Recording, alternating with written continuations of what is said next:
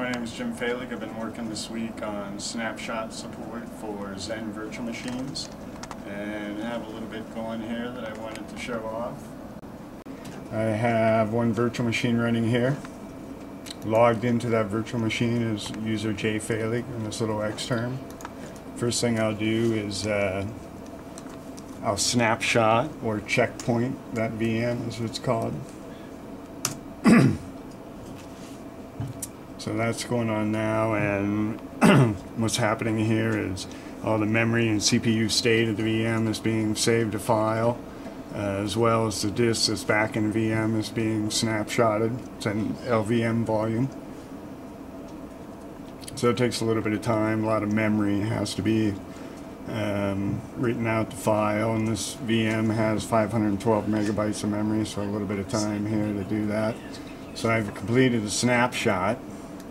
Now come over in this VM and say I have maybe in this private directory a bunch of my adult films and decide perhaps that's not such a good idea on a work machine.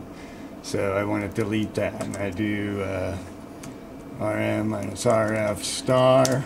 Oh, just realized I was in my home directory when I did that. I'm just lost everything.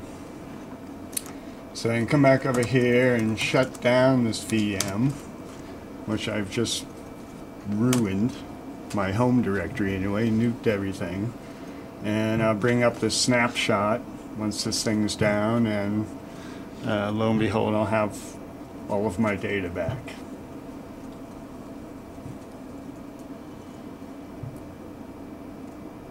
Okay, so that guy's down.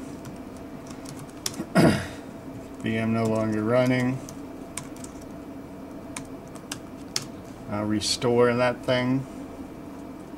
Bring him back to life using the snapshot. Log in to him over here. Boom. Have all my stuff back. So, simple snapshotting support. Everything I just nuked to my home directory, I've recovered like that. And that's what I've been working on this week. Beautiful. Sweet.